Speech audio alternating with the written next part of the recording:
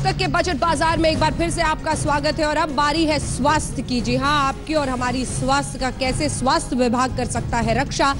सरकार एक ऐतिहासिक और बड़े पैमाने पर मेडिकल कवर के साथ मतलब ओबामा केयर जो अमेरिका में था, उसके तर्ज पर माना जा रहा है। मोदी केयर हालाँकि नाम इसका देश के नाम है, लेकिन पाँच लाख प्रति घर में, एक साल में 50 करोड़ लोगों के लिए। अब इसका क्या मायने है, कैसे फ़ायदा होगा, इन सब पर बातचीत करेंगे निशान चतुर्वेदी, हमारे सहयोगी हमारे साथ है, डॉक्टर रवि मलिक उनके साथ है। और ये है हेल्थ क्लिनिक में क्या सुधरेगी देश के स्वास्थ्य विभाग की हेल्थ, ये पूछेंगे। और अंशुमन तिवारी हमारे साथ, हमारे वरिष्ठ सहयोगी भी जुड़ गए हैं, जो ऐसे मुद्दों की अच्छी समझ रखते हैं। तो सरकार वाकई कुछ बड़ा करने की तरफ़ बढ़ रही है, नहीं, मैं पूछूँगी, लेकिन उससे पहले निशान देखिए, ये ये एक बड़ा वाजिब सवाल है, जो किया गया है। सुधांशु जी बहुत बहुत बधाई, तालियाँ इसके लिए। खासकर जो मेडिकल कॉलेजेस की बात की गई है पर कॉन्स्टिट्यूंसी बहुत सोच बहुत अच्छी है। लेकिन ऐसी कई सोच थी। 10 मिलियन जॉब की बात की थी। आज चौथे साल में आपने 70 लाख कर दिया। किसान की आमदनी दुगना करने की बात है। ग्रोथ फिगर्स दिखाते नहीं है क्योंकि उसके लिए कम से कम 10 से 12 फ़ीसदी चाहिए। ये फैक्ट्स हैं जिसको मैं अंशुमन सर से समझना चाहूँगा। लेकिन उससे पहले डॉक्टर मलिक आ, बहुत ज़रूरत थी खासकर भारत जैसे देश में इस तरीके की पॉलिसी यानी कि करीब पाँच लाख की एक मदद दस करोड़ परिवार, ओबामा केयर जो था वो करीब साढ़े पाँच करोड़ था, ये तो दस करोड़ तक पहुँच गए। देखिए, सबसे पहले तो बताऊँगा कि सरकार का ये कदम बड़ा अच्छा है। सबसे अच्छी बात तो ये है कि सरकार ने ये ज़रूर माना, क्योंकि हर बार जो हेल्थ है वो हमेशा बैक सीट लेता था। सरकार ने ये ज़रूर माना कि समृद्ध अगर देश है तो स्वस्थ देश होना बड़ा ज़रूरी है। They both will go hand by hand ये बात तो बिल्कुल सही है। लेकिन बहुत सारी चीज़ें ये भी बहुत, एक बहुत, अगर ये निशान जी आपको बताऊँ, अगर ये हो जाए तो बहुत बड़ी रिवोल्यूशन होगी।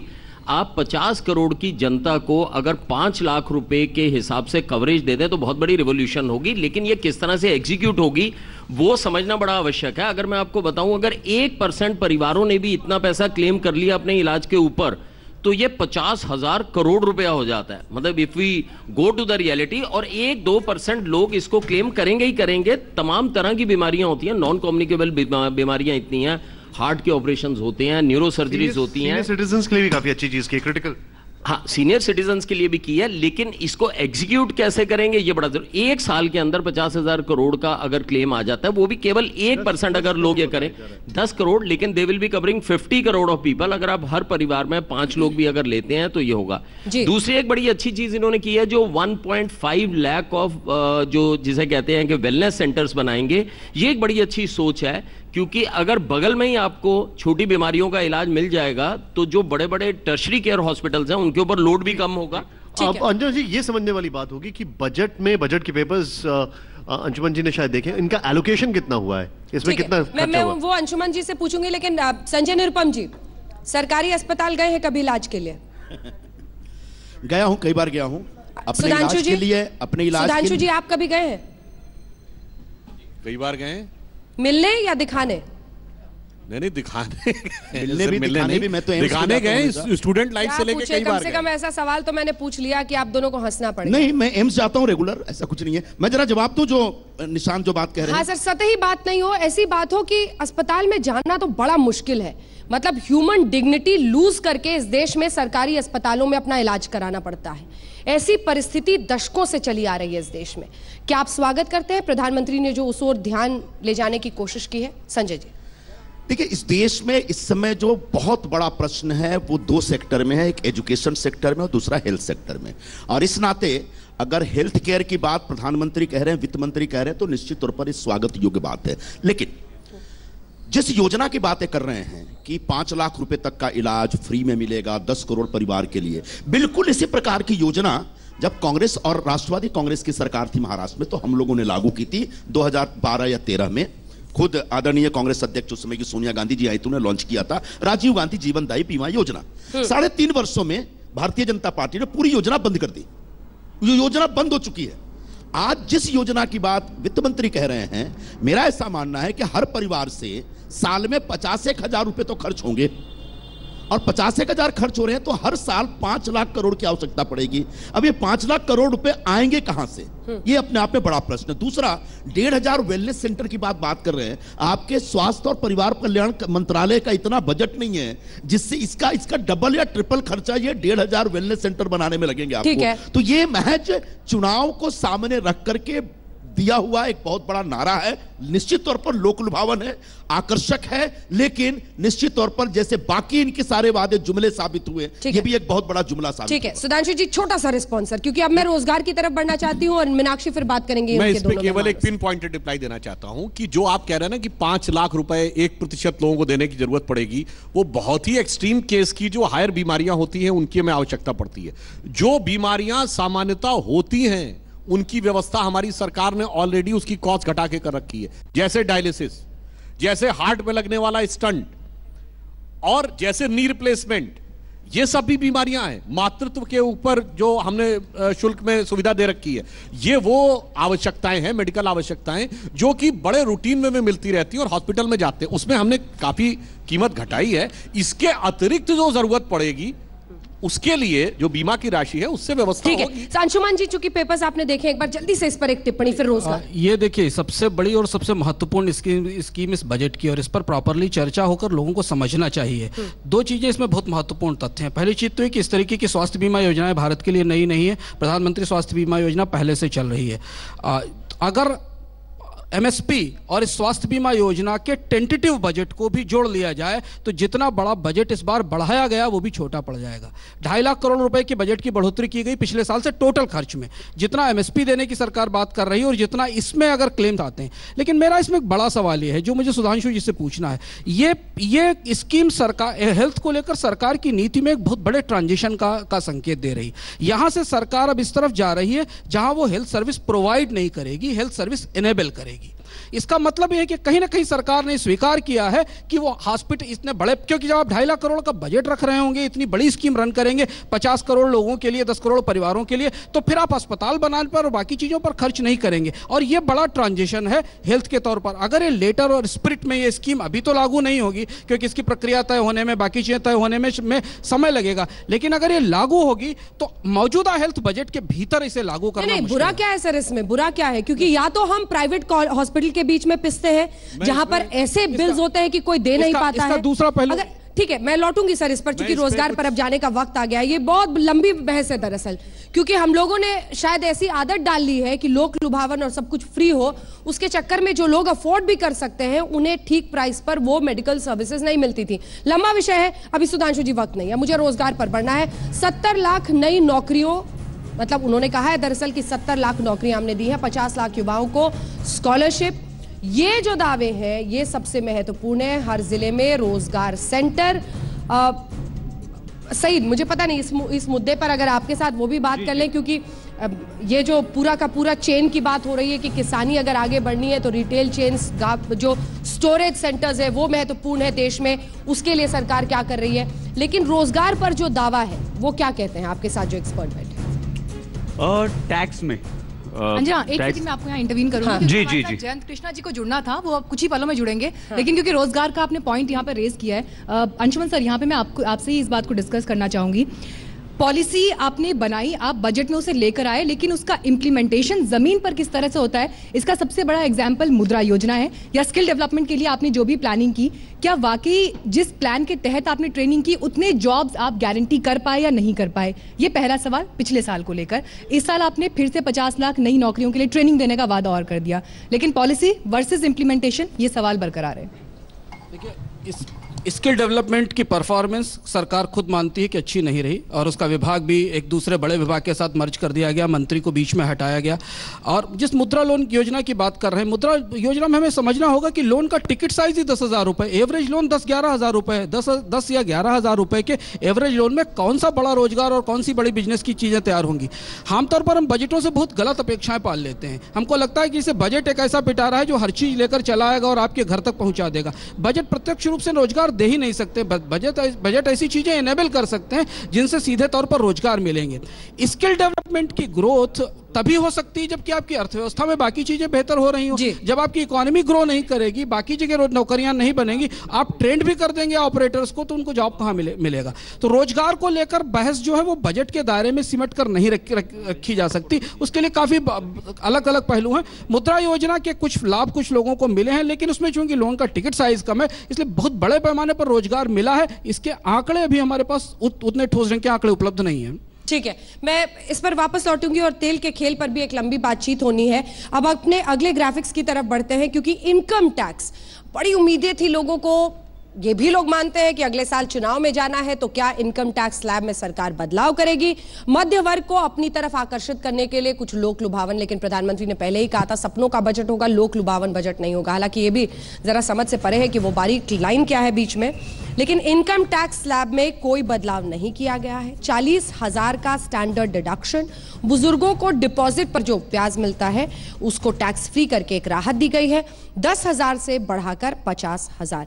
अब ये जो कदम सरकार की तरफ़ से उठाए गए हैं, उसको लेकर भी काफ़ी लोगों का इंटरेस्ट दिख रहा है। अब हम गरीब और महिलाओं की भी बात करेंगे। आठ करोड़ घरों में उज्ज्वला योजना, महिलाओं को मुफ़्त गैस कनेक्शन 2022 तक हर गरीब को घर। ये जो तमाम वादे किए गए हैं, इन सबको एक साथ क्लब करके अगर हम आगे की बातचीत ले चले और तेल के खेल तक पहुँच जाए, क्योंकि जो शहरों में पहले दाम था, एक्साइज घटने पर जो दाम है और सेस लगने पर जो दाम है, वो भी हम अब आपको दिखा देते हैं। दिल्ली में, जो कि तिहत्तर रुपए पाँच पैसे आप पहले खरीदते थे, पहले के दाम, वो एक्साइज घटने पर पैंसठ रुपए के आसपास पहुँचता है। लेकिन सेस लगने पर वापस पहुँच गया साहब, तिहत्तर पे ही। यानी आपने क्या किया इन शहरों में? आपने पहले तो एक्साइज घटाया लेकिन फिर सेस से जब पैसा ले लिया तो कीमत वही हो जा रही है। आप देख लीजिए दिल्ली कोलकाता मुंबई चेन्नई हर जगह कीमत वही पहुँच रही है जो इस एक्साइज ड्यूटी को घटाने के पहले थी। तो इस पर मीनाक्षी एक रिएक्शन ले लीजिए। कहाँ से निकले थे? लौट के वापस वहीं आ बिल्कुल अंजना जो ग्राफिक्स आपने दिखाए उसमें शहर दर शहर ये स्थिति बिल्कुल साफ़ हो गई कि जब एक्साइज ड्यूटी घटाई जाएगी लेकिन जो न्यू रोड सेस टैक्स है वो आता है तो उसके बाद स्थिति क्या हो जाएगी? ऐसी त्रिपाठी जी हमारे साथ मौजूद है एक्सपर्ट है इस मामले पर। सर मैं ये समझ पाने में बिल्कुल अपने आप को बहुत ही मजबूर समझ रही हूँ इस वक्त। एक तरफ़ से आपने एक्साइज ड्यूटी घटाई लेकिन उसके बाद आपने कान उल्टा पकड़ा है। आठ रुपये आपने उस पर और बढ़ा दिया है। तो यानी हम ये मानकर चलें कि वो दिन दूर नहीं पेट्रोल के लिए डीजल के लिए सौ रुपये तक देना पड़ेगा एक आम आदमी को? देखिए ये ये जरा बारीक मामला है और वित्त मंत्री जी ने बहुत बारीकी दिखाई है इसमें। आ, कोई पेट्रोल और डीजल के दाम कम नहीं होंगे। शायद उसी उसी स्तर पर रहेंगे। या हो सकता है कुछ थोड़े से बढ़ भी जाएँ। लेकिन उन्होंने किया क्या है? हाँ हाँ नहीं वो अभी आता हूँ उस पर उन्होंने किया क्या है? एक्साइज ड्यूटी में चूँकि 42 परसेंट राज्यों को जाता है सेस में कुछ नहीं जाता है। तो उन्होंने राज्यों का शेयर जो है वो कम कर दिया क्योंकि उनको संसाधन की कमी हो रही है और उनको लग रहा है कि जीएसटी में राज्यों को जो हमें कॉम्पनसेट करना पड़ेगा शायद वो पैसा हम नहीं ला पाएँगे।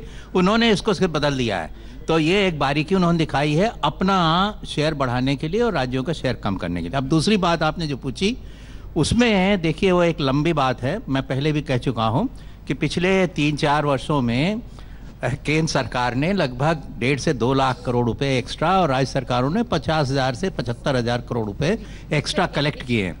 अब और और जो जो दाम घटे क्रूड ऑयल के तो उसका लाभ कंज्यूमर को नहीं दिया है और सरकारों ने अपने पास रखा। उसका जो भी उपयोग किया हो एक अलग बात है। तो अब अगर आगे भी क्रूड ऑयल के दाम बढ़ेंगे और अगर टैक्स रेट नहीं घटेगी तो नेचुरली दाम बढ़ते जाएँगे। तो अब जो आपने इन कि सवाल अब सीधे सुधांशु जी की तरफ़ आ जाता है कि क्या अब ये वो वक्त आ गया है कि तत्काल प्रभाव से जीएसटी के दायरे में आप ले आए इसे? देखिए जीएसटी के दायरे में मैं पहले भी कह चुका हूँ कि केंद्र और राज्य सरकारें दोनों ही इसमें नहीं नहीं इस सवाल पे इस सवाल इस सवाल पे तो हैं? सभी चुप्पी साध हाँ, लेते सब हैं ये पेट्रोल डीजल को जीएसटी में लाने की बात पर सभी चुप्पी साध लेते हैं। कुछ ही देर पहले धर्मेंद्र प्रधान के साथ मैं यही बहस कर रही थी सर। वो चुप्पी साध रहे थे। अंजना- छोटा सा रिएक्शन क्योंकि मैं मैं एक बात अ, बोलता हूँ। ये जीएसटी को के दायरे में पेट्रोल डीजल को लाने की ही तैयारी है और इसलिए एक्साइज ड्यूटी घटाई गई है और और इंपोर्ट ड्यूटी लगाई गई है। उसकी वजह यह कि इंपोर्ट ड्यूटी पे जीएसटी लागू नहीं होता है। ठीक है उसी तरफ़ रियल एस्टेट सेक्टर रिएक्शन सब चलेंगे। अरे शिवराज सिंह जी आ गए, अब सबकी आवाज़ धीमी पड़ जाएगी। थोड़ा सा रुक जाइए सर। नेहा। देखिए अंजना, आज जो सबसे मुख्य बात कही गई इस स्पीच में वो था कि 2022 तक हर एक के पास अपना घर होगा। कैसे होगा? क्या रोड मैप होगा? इस पर कोई स्थिति स्पष्ट नहीं हुई। क्योंकि एक तरफ़ तो आपने इनकम टैक्स और जीएसटी में कोई बदलाव नहीं किए, आपने फुल इंडस्ट्री सेक्टर स्टेटस नहीं दिया, जिसकी लंबे वक्त से रियल एस्टेट मांग कर रहा है। दूसरी ओर आपने एक अफोर्डेबल हाउसिंग फंड बना दिया। उसको कैसे आप कारगर करेंगे कैसे आप उसको जमीनी स्तर पर इंप्लीमेंट करेंगे? आठ लाख करोड़ लोग हैं सर जो इस वक्त अपने घर का इंतज़ार कर रहे हैं। कहीं किसानों जैसी नौबत ना आ जाए आत्महत्या की? हुँ, हुँ. और ये आठ लाख करोड़ जो लोग हैं इसमें हाउसिंग फॉर ऑल में सबको घर देने की बात है। इसके अंदर रूरल हाउसिंग भी आती है इसके अंदर अफोर्डेबल हाउसिंग भी आती है इसके अंदर इनकम्प्लीट जो इन्वेंट्री खड़ी है इनकम्प्लीट प्रोजेक्ट्स खड़े हैं वो भी हाउसिंग फॉर ऑल में देने की ज़रूरत है। और इसके अंदर एक जनरल अफोर्डेबल हाउसिंग भी आती है और इसके अंदर स्लम रीडेवलपमेंट भी आती है। क्योंकि इसका भी अर्बन हाउसिंग में ऑलमोस्ट 19 प्रतिशत तक की भागीदारी है इस चीज़ की भी। जी। अगर आपको अभी तक जो किया सरकार ने मैं ये बात मानता हूँ कि इतनी एफर्ट कभी भी नहीं हुई जितना इन्होंने गवर्नमेंट ने क्रेडिट लिंक सब्सिडी स्कीम लाई साढ़े छह प्रतिशत का छह लाख रुपए तक के लोन के ऊपर जादू की छड़ी चल गई सर। इंटरेस्ट हो नहीं उसमें सब खुश हो जाएँगे सब बायर्स को उनका घर मिल जाएगा। आ, आम आदमी के अफोर्डेबल हाउसिंग इस टाइम कंट्री में मूव कर रहा है। हम मानते हैं सारे बिल्डर्स तमाम अपने वादे पूरे करेंगे सब ठीक हो जाएगा। अफोर्डेबल हाउसिंग की तरफ़ मूव कर रहा है। चलिए, लेकिन कमी है। ठीक है। कमी ये है ठीक है। कि अभी तक जो इसमें और चीज़ें करने की ज़रूरत है वो है। लैंड ठीक है सर मैं आऊँगी लौटूँगी। आपका संजय निरुपम जी अब पेट्रोल डीजल पर जरा हो जाए वापस। देखिए अंजना जी मैं कांग्रेस पार्टी की भूमिका स्पष्ट कर दूँ पेट्रोल डीजल के बारे में। कांग्रेस पार्टी के अध्यक्ष श्री राहुल गांधी जी ने एक बार नहीं कम से कम पचास बार ऐसी मांग की है कि डीजल और पेट्रोल को जीएसटी में लेके आइए। तो आप ये नहीं कह सकते कि सब चुप है। जब हिंदुस्तान की हर चीज़ पर जीएसटी लगी है तो जिस डीजल, पेट्रोल की वजह से हमारा सर्व सामान्य का जीवन प्रभावित होता है, सबका जीवन प्रभावित होता है, उसे जीएसटी में लाने से कौन रोक रहा है सरकार को? यह हमारा सवाल है। दूसरी बात यह है कि इस समय मैं जिस शहर से आ रहा हूँ, मुंबई से, इस समय हिंदुस्तान में सबसे महँगा पेट्रोल और डीजल मुंबई में मिल रहा है। और आज जो मज़ाक किया गया, पहले एक्साइज ड्यूटी घटाया जा रहा है और उसके बाद सेस बढ़ाया जा रहा है। जो उधर से बार बार कह रही हैं कि उल्टा कान पकड़ा गया है। इस तरह की इस तरह की बदमाशियाँ बंद कर देनी चाहिए। लोग त्रस्त हैं परेशान जवाब दीजिए सुधांशु जी। परेशान है और 80 ऐसे रुपए में 91 सरकार पैसे प्रति लीटर देते हैं। प्रयास होना चाहिए। देखिए, बेईमान संजय जी अस्सी रुपए इक्यानवे पैसे प्रति लीटर देते हैं मुंबई में। वो कह रहे हैं कान उल्टा पकड़ना बंद कीजिए। कौन रोक रहा है आपको जीएसटी के दायरे में उसे लाने से?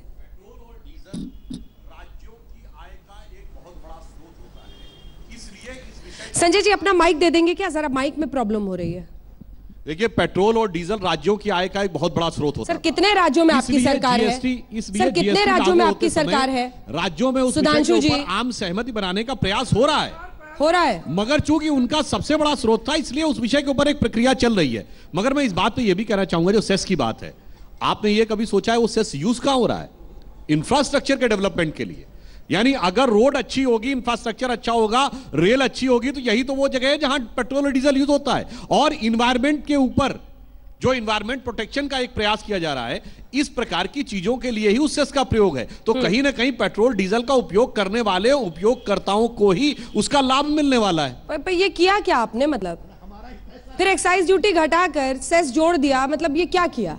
देखिए ये सेस इसलिए जोड़ा गया है कि उसका उपयोग इंफ्रास्ट्रक्चर के डेवलपमेंट में इन्वायरमेंट प्रोटेक्शन में किया जा सके। क्योंकि आप ये सोचिए अगर अच्छी सड़क ही नहीं होगी तो आप जो है पेट्रोल यूज़ करेंगे उसके बाद उस गाड़ी के ऊपर चलने में आप कितनी असुविधा होगी? अच्छी हाईवेज होंगी रोडवेज़ होंगी। दूसरी तरह से संजय जी संजय जी को माइक दे दीजिए जरा। संजय जी संजय जी तो दूसरी तरफ़ से हम देखें तो पास ऑन नहीं किया ना बोझ उसका एक तरह से कंज्यूमर का। दूसरी तरफ़ से अगर हम देखें तो एक उन्होंने सेस का जो हिस्सा है वो एक्साइज ड्यूटी में कमी करके पास ऑन नहीं किया ना कंज्यूमर ऐसा है ऐसा है जीएसटी लाने के पीछे बीच में अगर कोई रोड़ा बना है तो राज्य सरकारें और एक्साइज ड्यूटी घटा करके राज्य सरकारों की कमाई आप कम कर रहे हैं और चूँकि cess direct direct central government के खजाने में जाता है तो आप सेस बढ़ा रहे हैं। तो यहाँ तो आपने राज्य सरकारों के मंतव्य की, की कोई चिंता नहीं की।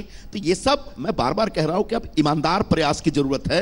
ये जो बार बार बेईमान प्रयास चल रहा है सरकार की त्रिपाठी जी भी हंस रहे हैं सर, और भी त्रस्त होगी। और एक मिनट एक मिनट और बता दूँ मैं। बोलिए, बोलिए, अंजना जी हाँ। जब इस सरकार आई थी तब इस देश को जो क्रूड ऑयल मिल रहा था हमारी तुलना में बहुत सस्ते में मिल रहा था। तब इस सरकार के पास बहुत चांसेस थे डीजल पेट्रोल का भाव कम करने का। लेकिन इन्होंने डीजल पेट्रोल का भाव लगातार बढ़ाया और तमाम तेल कंपनियों की कमा, कमाई जो जमा पूंजी है वो लगभग डबल ट्रिपल होती चली गई और जनता को ये लूटते रहे जनता को खसोटते रहे। आज डीजल पेट्रोल का भाव बढ़ेगा ही बढ़ेगा क्योंकि इंटरनेशनल मार्केट में क्रूड ऑयल का भाव इस समय सत्तर डॉलर है आने वाले दिनों में और भी बढ़ सकता है और इसकी वजह से महँगाई की मार इस मामले में आप सुधांशु जी यूपीए थ्री बन गए। हाँ बहुत हुआ महँगाई की मार। जो इनके वक्त की पर होता था। नहीं चाहिए मोदी सरकार ये नारा लोग देना शुरू करेंगे इस देश मैं एक सवाल पूछना मुंबई से के दिल्ली आए तो एक नारा देकर जाएँगे संजय जी। अंजना मैं एक सवाल पूछना जल्दी से, मैं एक सवाल सुधांशु जी से पूछना। आखिर ये पूरे सेस राज की का की वजह क्या है? जब आप जीएसटी ला रहे थे तो पूरे देश से कहा गया था कि तमाम दर्जनों तरीके के सेस खत्म हो जाएँगे। इस बजट में दो नए सेस पैदा हो गए। आज तक के बजट बाज़ार में मेक इन इंडिया के लोगों के साथ आपने देखा स्क्रीन पर कि कैसे बजट बाज़ार का आगाज़ हुआ है। लेकिन अगर हर नज़र से इस बजट को देखें तो माना जा रहा है कि किसान के हित में बजट बनाया गया है। मध्य वर्ग को थोड़ी सी निराशा होती हुई दिखाई दे रही है। और अब कैमरे के आगे से संबित पात्रा आपको एंट्री मारते हुए दिख रहे हैं। रंजीता रंजन पहुँच चुकी है कांग्रेस पार्टी की तरफ़ से पक्ष संभालने के लिए। लेकिन दिलचस्प यही है कि किसान के हित में इस बजट को बचाया जा रहा है, लेकिन क्या किसान खुश है? मध्य वर्ग को कोई फ़ायदा नहीं, टैक्स लैब में कोई रिबेट नहीं, लेकिन शिक्षा के क्षेत्र में, खासतौर पर स्वास्थ्य के क्षेत्र में बड़ी बात। क्योंकि मेडिकल कवर ऐतिहासिक रूप से दिया गया है इस बार। लेकिन इस बीच विपक्ष का यह कहना है कि यह वक्त लामबंद होने का आया आइए आपको दिखाते हैं कैसे सोनिया गांधी आह्वान कर रही हैं, क्योंकि उन्हें भी लगता है कि पूर्ण आखिरी बजट है सरकार की तरफ़ से। यह वक्त है विपक्षी नेताओं के लिए एकजुट होने का। विपक्षी दलों की मीटिंग में सोनिया गांधी ने यह कहा है और कहा है कि जो सरकार बांटने का काम कर रही है सोच ऐसी देश में पैदा कर रही है कि विभाजन हो, उसे रोकने के लिए सभी पार्टियों को एक साथ आना पड़ेगा और मोदी सरकार ने महँगाई बढ़ाई है। मोदी सरकार में नौकरियों की कमी आई है।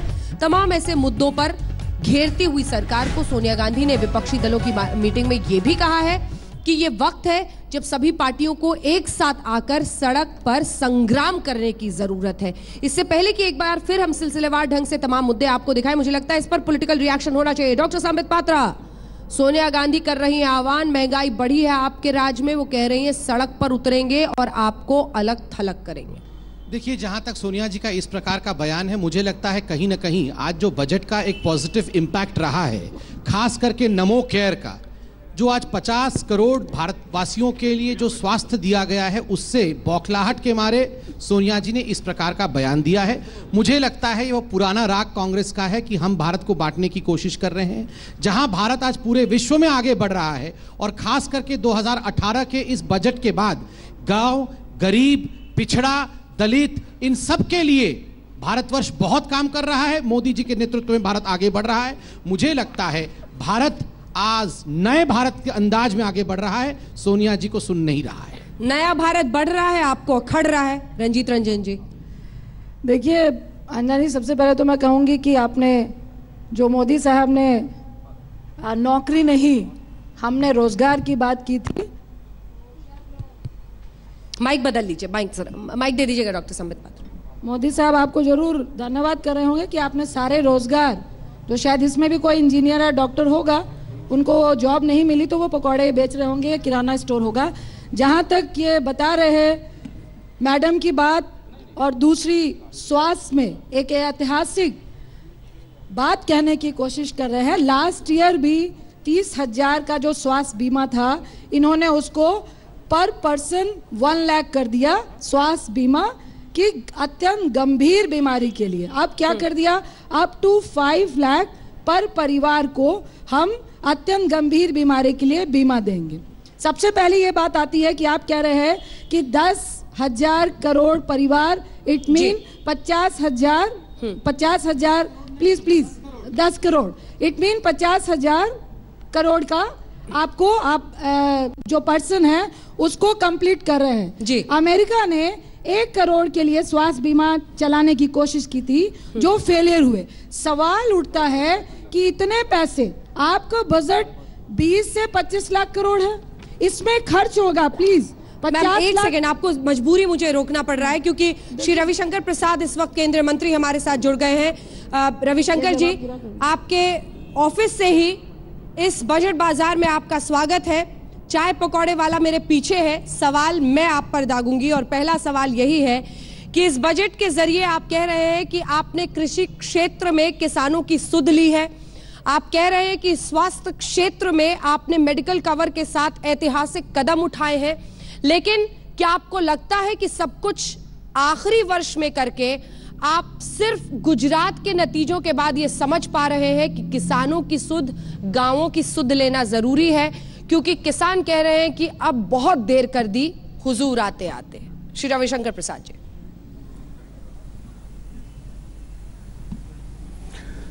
देखिए, मैं आपसे एक बात कहूँगा। ऐसा नहीं है कि किसानों के लिए इसी बार किया है। किसानों की आमदनी दुगनी की जाए, ब्लू रेवोल्यूशन आगे आए, भारत में आज दूध का उत्पादन दुनिया में सबसे ज़्यादा हो गया है।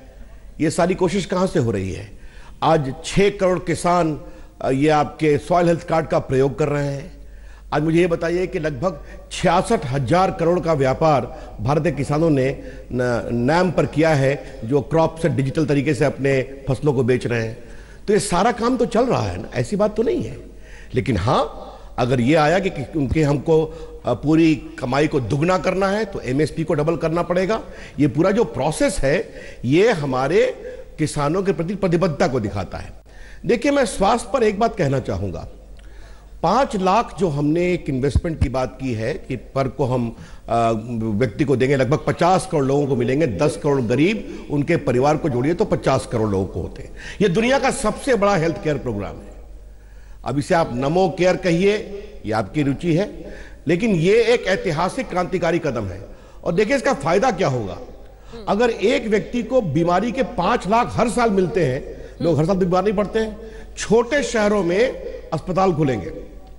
ये कितना बड़ा अधिक एक प्रकार से और जॉब क्रिएशन बिज़नेस क्रिएशन क्योंकि सरकार अगर पाँच लाख का इन्वेस्टमेंट कर रही है 24 मेडिकल कॉलेज नए खुल रहे हैं और तीन तीन कॉन्स्टिट्युएंसी पर लोकसभा के एक एक मेडिकल कॉलेज खुल रहे हैं और जो रीजनल हेल्थ सेंटर खुल रहे हैं तो हेल्थ अपने आप में इन्वेस्टमेंट जॉब क्रिएशन और स्वास्थ्य इन तीनों का एक बहुत बड़ा आंदोलन बनेगा ये आपसे हम कहना चाहते हैं खरीफ और इसके बारे में एक बात मैं और कहना चाहूँगा। हम गाँव गरीब की चिंता ऐसे नहीं करते। हम्म। जी बताइए। नहीं नहीं खरीफ फ़सलों पर ही मेरा सवाल था सर कि आपने सवाल पूछा। ये ये कहा गया है कि जो लागत है उसे डेढ़ गुना हम देंगे न्यूनतम समर्थन मूल्य तय करेंगे।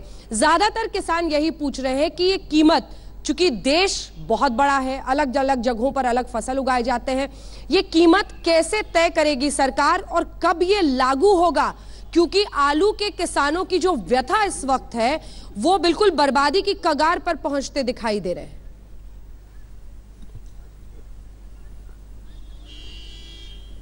आलू प्याज की भी चिंता की गई है। एक बात, अपने कहा कब से लागू होगा? जब से बजट लागू होगा, तब से लागू होगा। अब आप पूछे इसका पैमाना क्या होगा? देखिए, न्यूनतम मूल्य होगा जिस पर आपकी लागत पर खर्चा लगेगा। और पिछली सरकार और इस सरकार में एक बहुत बड़ा अंतर है। पिछली सरकार में कई कारणों से महँगाई हो, भ्रष्टाचार हो, बाकी हो, लागत बहुत अधिक होता था। आज फर्टिलाइज़र का दाम कम हुआ है। इस बात को आप कभी नहीं भूलिए, नीम उड़िया के कारण। आज आपके बीज उपलब्ध हैं। आज इरिगेशन की बहुत सुविधा बढ़ाई जा रही है। तो इसके कारण लोगों का कृषि पर लागत मूल्य कम हो रहा है। और बाकी इलाकों में जहाँ अधिक होगा, पथरीला इलाका है, वहाँ अधिक लगेगा। तो ये पूरा एक नॉन बनाया जाएगा, ये मैं आपसे कहना चाहता हूँ। लेकिन जब से बजट लागू होगा, तब से इसको लागू करने की कोशिश की जाएगी। और फिर मैं बहुत विनम्रता से कहूँगा, ये एकमात्र नहीं है। पिछले तीन चार वर्षों में कृषि के विकास के लिए जो डिजिटल टेक्नोलॉजी फर्टिलाइज़र पर अधिक कम खर्चा आज आप कल कभी फर्टिलाइज़र का लिए लाइन देखती हैं? बताइए तो मुझे आप अंजना जी। पहले हर साल मुख्यमंत्री पत्र लिखा करते थे हमारे यहाँ खाद की कमी है अब वो सब खत्म हो गया। तो ये हम कोशिश कर रहे हैं। एक बात मैं और कहना चाहूँगा। छोटे शहरों के लिए ग्रामीण इलाकों के लिए ऑप्टिकल फाइबर नेटवर्क का हमने काम किया। कांग्रेस सरकार में तीन साल में आया था नोफन प्रोग्राम तीन किलोमीटर। हमने साढ़े तीन साल में लगाया कितना? दो लाख पचास हज़ार किलोमीटर। आज एक लाख गाँव को हमने ग्राम पंचायत से जोड़ दिया। आज आपको बताऊँ छोटे शहरों में बीपीओ खुल रहा है जिसमें इम्फाल भी है जिसमें कोहिमा भी है जिसमें मुजफ्फरपुर है जिसमें पटना है जिसमें बरेली है इलाहाबाद है लखनऊ है धुले है आपके औरंगाबाद है नागपुर है साउथ इंडिया के आज छोटे शहरों में बीपीओ खोल रहे हैं। आज हमने इलेक्ट्रॉनिक मैन्युफैक्चरिंग की बात की आज हमारे वित्त मंत्री जी ने एक मिनट खाली कंप्लीट कर वित्त मंत्री जी ने एक बात कही कि इस पर हम ड्यूटी को बढ़ाएँगे, भारत को आगे बढ़ाएँगे। चौदह में सिर्फ़ दो मोबाइल बनाने वाली फैक्ट्री थी। आज 115 मोबाइल बनाने वाली फैक्ट्री हिंदुस्तान में आ गई है। उसमें लोगों को नौकरी मिल रही है, आयोजन हो रहा है। तो इस प्रकार से एक पूर्णता में इसको देखने की आवश्यकता है। ठीक है। अब बात नौकरियों पर करते हैं, सर, क्योंकि करोड़ों से शुरुआत की थी जब चुनाव थे 2014 के। और अब सरकार गिना रही चार साल बीत गए, सर। सत्तर लाख पे पहुँचे।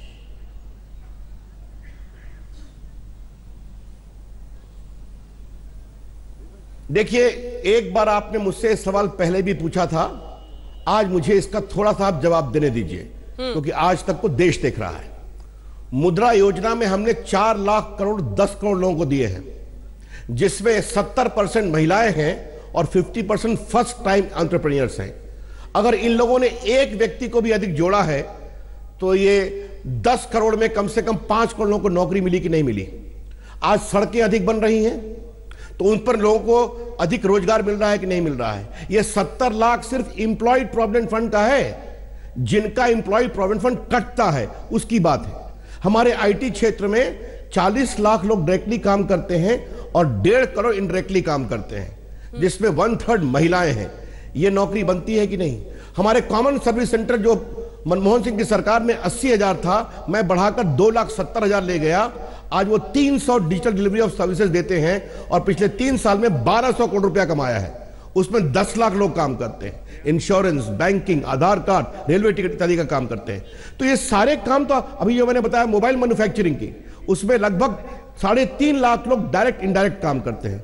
आपको मालूम है अंजना जी, कि उबर में और ओला टैक्सी सर्विस में कितने लोग काम कर रहे हैं? जो पूरा आगे एक्सप्लोर किया है। तो इसको पूर्णता में देखने की ज़रूरत है। कि रोज़गार के अवसर हमने कितने मुहैया कराए। अब हम डिजिटल इकोनॉमी को आने वाले पाँच वर्षों में वन ट्रिलियन डॉलर की इकोनॉमी बनाने जा रहे हैं। उसमें पचास से सत्तर लाख लोगों को नौकरी देने वाले हैं। क्योंकि भारत डिजिटल इंडिया के कारण एक बहुत बड़ा डिजिटल मार्केट बन रहा है जिसमें आपके स्टार्टअप मूवमेंट भी है जिसमें आपका बाकी सब कार्यक्रम आ रहे हैं। तो एक प्रकार से देश में अर्थव्यवस्था के लिए हम और रोज़गार के लिए बड़े बड़े अवसर पैदा कर रहे हैं। और करने की ज़रूरत है आपकी बात सही है। लेकिन यह कहना कि कोई रोज़गार नहीं हुआ है साढ़े तीन साल में यह मेरे ख्याल में उचित नहीं है। अगले साल चुनाव आ सकते हैं और आप मध्य वर्ग की मिडिल क्लास की नाराज़गी खुले में मोल ले रहे हैं। टैक्स स्लैब में कोई बदलाव नहीं है। सेस नया का नया आप लगाए जा रहे हैं सर। पेट्रोल डीजल की कीमत में थोड़ी सी एक्साइज ड्यूटी में राहत देते हैं और सेस लगा के फिर उसको वहीं पहुँचा देते हैं। मध्य वर्ग की नाराज़गी क्यों मोल ले रही है यह सरकार ऐसे वक्त पर?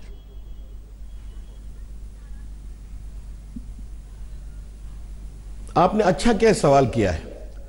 हमने पहले साल में उनका टैक्स स्लैब ढाई लाख किया था कि नहीं किया था दो लाख से?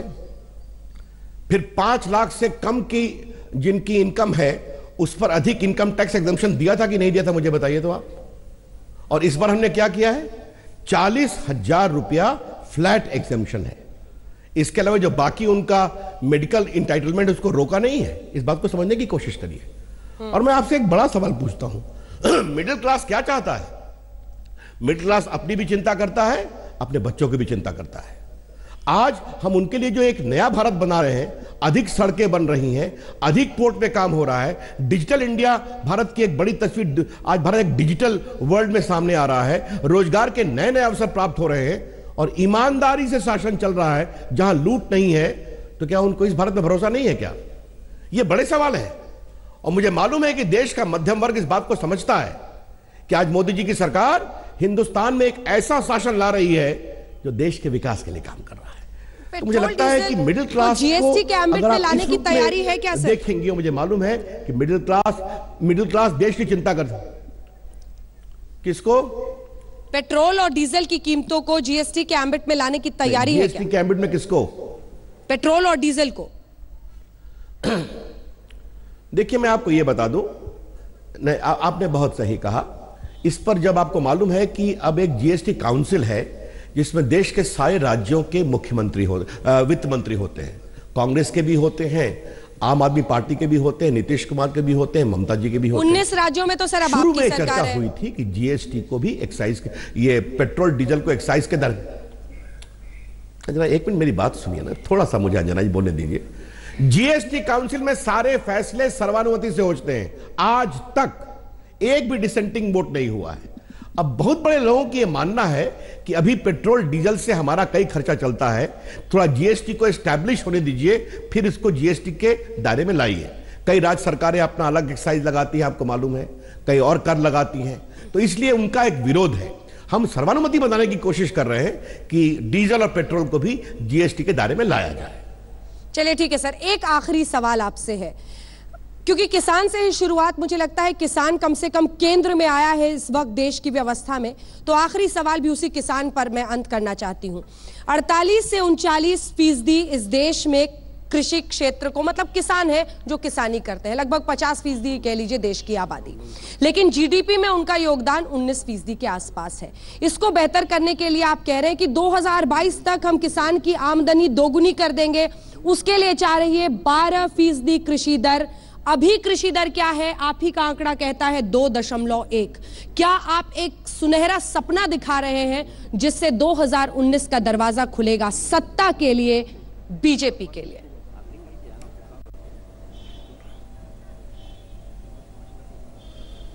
एक बात बताऊँ, बहुत विनम्रता से अंजना जी, आपकी तमाम टीका टिप्पणियों के बावजूद इस साल सबसे बम्पर क्रॉप 275 मिलियन का हुआ है कि नहीं हुआ है, मुझे बता दीजिए।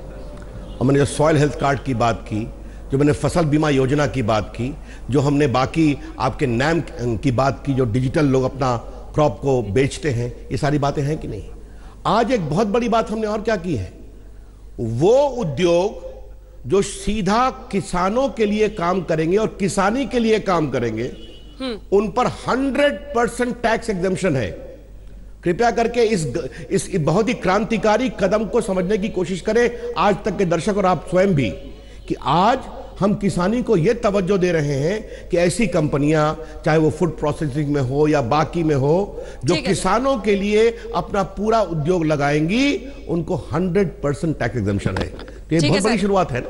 तो इसको हाँ। मैंने कहा पूर्णता में देखिएगा और फिर आप देखिए तेरह लाख टीचरों को डिजिटाइज करना ट्रेन करना तो ये सारे विषय हैं। देखिए, आलोचना करने वाले आप अपनी आलोचना करेंगे, उनकी आलोचना का हम सम्मान करते हैं। लेकिन ये एक उदयमान भारत के गति देने वाला बजट है, समानता और विकास दोनों का। देखिए, रविशंकर जी, बजट के दिन आप आए आज तक पर और चलते चलते आज एक और बहुत महत्वपूर्ण चीज़ हुई है, उस पर रिएक्शन आपसे लिए बिना सर आपको जाने नहीं दूँगी। राजस्थान के उपचुनावों के नतीजे कुछ कह रहे हैं क्या?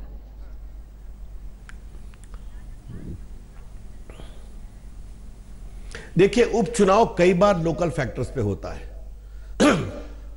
हम हारे सच्चाई है बाकी तथ्यों की जानकारी प्राप्त करनी पड़ेगी। लेकिन एक बार आपके चैनल पर कभी मैं आया था किसी एजेंडा प्रोग्राम में तो उत्तर प्रदेश में कई बाई इलेक्शन में हमारा सफाया हो गया था। अखिलेश जी की सरकार थी। उसके बाद क्या हुआ मालूम है आपको? और मुझे याद है कि नीतीश जी के साथ हम लोग बिहार में थे तो दस उपचुनाव हुए थे दसों हम लोग हार गए थे। बाद में जीते भी।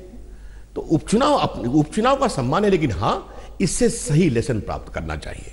अगर कुछ कमज़ोरी है, उसको ठीक करने की कोशिश करनी चाहिए। बहुत बहुत धन्यवाद आपका केंद्रीय कानून मंत्री रविशंकर प्रसाद आज तक पर एक्सक्लूसिव बातचीत करते हुए बजट पर अपनी प्रतिक्रिया देते हुए। और अब वापस इस बजट का रुख करते हैं, क्योंकि उन्हें उम्मीद है कि नतीजे बदलेंगे। जो राजस्थान में हुआ, वो देश में कहीं और नहीं होगा। जो बदले, जो वही राजनीति और जो उम्मीद लगाए आगे बढ़े, वही नेता जल्दी से रंजीत रंजन जी अपनी बात पूरी करें जिसके बाद हम अब सभी लोगों के पास जाएँगे। सईद आपके पास फ़ौरन उसके बाद। एक क्लैरिफिकेशन देने देना। मैं फिर वहीं से शुरू होंगी कि आपने एक लाख का दिया था अब पाँच लाख फैमिली को दे रहे हैं। आप ये पैसा लेके कहाँ से आओगे? दूसरा क्या आपके पास ये डेटा आपने दिया फाइनेंस मिनिस्ट्री के बजट में कि पिछली बार जो एक लाख आपने बीमा स्वास्थ्य बीमा दिया तो कितने लोग उससे लाभान्वित हुए? तीसरा फ़सल बीमा योजना। आज अरुण जेटली साहब ने ही कहा कि 2000 किसान सिर्फ़ लाभान्वित हुए और बीस हज़ार करोड़ रुपए फ़सल बीमा कंपनियों को मिले जो सेंट्रल स्टेट और जिस किसान को लोन नहीं चाहिए था हाँ। उनका भी कटता है। तो क्या स्वास्थ्य बीमा का पैसा भी कंपनियों को फ़ायदा पहुंचाना? हमारे सरकारी अस्पताल आपको पता है। तो क्या ये पाँच लाख जो सरकारी अस्पताल का जो हम सब देखते हैं और प्राइवेट अस्पताल में जो व्यक्ति जाएगा इलाज कराने वो तो एक ही व्यक्ति से पाँच लाख जब तक निकालेगा नहीं तब तक उसका इलाज खत्म नहीं करेगा तो क्या ये कंपनियों को फ़ायदा पहुँचाने के लिए डॉक्टर पात्रा जल्दी से क्योंकि अब मैं अन्य लोगों के पास ये पैसा रंजीत रंजन जी जल्दी से आइए। सईद भी आ गए सईद यहाँ पर बातचीत करेंगे महँगाई के मुद्दे पर। बड़ा विडम्बना का विषय है। अभी रवि जी ने बहुत सारी बातें की। मैं नौकरी वाले में भी जवाब देना चाहती हूँ। तो मैं बारी बारी बारी बारी से डॉक्टर पात्रा छोटा सा जवाब। देखिए पहली बात तो मैं ये कहना चाहूँगा बड़ा विडम्बना का विषय है अगर गरीबों के लिए स्वास्थ्य सेवा भी प्रदान करती है सरकार तो उस पर भी प्रश्न उठता है कि आखिर प्राइवेट में जाएगा तो प्राइवेट वाले तो पूरे चूस लेंगे आप पहली बात ये बताइए पाँच लाख करोड़ रुपए पाँच लाख रुपए प्रति परिवार हाँ। इस प्रकार का योजना पहली बार पूरे विश्व में कहीं हो रहा है इसके लिए तो कम से कम राजनीति को त्याग करके कांग्रेस पार्टी को करके रख लिया ना देखिए चार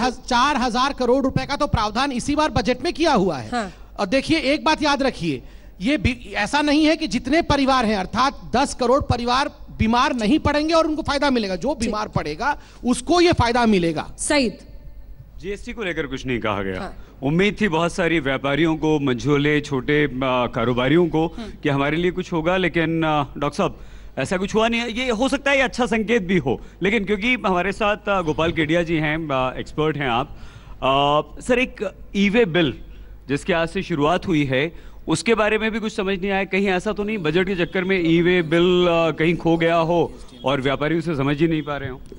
देखिए, ये बहुत प्रमुख शुरुआत आज से हुई है ई बिल की और ये एक ऐसा समाधान किया गया है जिसे कर चोरी की जो समस्या थी, जो अकाउंट फोर नहीं होता था कंप्लायंस नहीं होता था, जब माल एक जगह से दूसरी जगह जाता था, वो सारी की सारी प्रॉब्लम ई बिल के आने से सोल्व होने वाली है।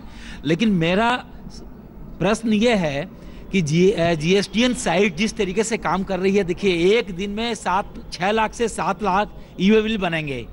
जब हम लोग रिटर्न फ़ाइल करने के लिए जाते हैं, जी एस टी की उनकी साइट क्रेश कर जाती है। हमेशा लास्ट मोमेंट में साइट क्रेश कर जाती है उनको डेट बढ़ानी पड़ती है। और इस वजह से हमारा राजस्व भी जो है वो कम आ रहा है। जैसे पहले तिरासी हज़ार लाख आया था कम होकर के छिहत्तर हज़ार लाख हो गया। फिर फिर बढ़ गया हमारा। अभी ग्यारह महीने और बारह महीने की बात हो रही है कि चूँकि हर एक महीने की बीस तारीख को पैसा आता है। तो क्या जीएसटी साइट इसको कंट्रोल कर पाएगी क्या? ये एक बहुत बड़ा मामला है। बजट में इस बारे में कुछ नहीं कहा गया। ये सही बात है कि ये जीएसटी काउंसिल का मामला है लेकिन अल्टीमेटली पार्लियामेंट इसको कंट्रोल करती है? सही तो, सही एक चीज़ मैं जोड़ दूँ जानकारी के लिए कि जीएसटीएन नेटवर्क आज भी नहीं काम कर रहा है। उत्तराखंड ने ई वे बिल का इम्प्लीमेंटेशन 10 दिन के लिए पोस्टपोन कर दिया है, है। और जीएसटीएन नेटवर्क में आज भी उस तरीके की प्रॉब्लम है। आज दरअसल लोगों की निगाह बजट से ज़्यादा ई वे बिल के इम्प्लीमेंटेशन पे थी क्योंकि आज से देश में बड़े पैमाने पर के मूवमेंट में जाने वाला हाँ संबित जी संबित जी, जवाब आपसे लेंगे, लेकिन हम यहाँ पर रुक रहे हैं कुछ देर के लिए। लौट कर आएँगे तो इनकम टैक्स की भी बात करेंगे, क्योंकि स्लैब में इस बार भी कोई बदलाव नहीं। बने रहिए, हमारे साथ होते हैं हाजिर, देखते रहिए आज तक।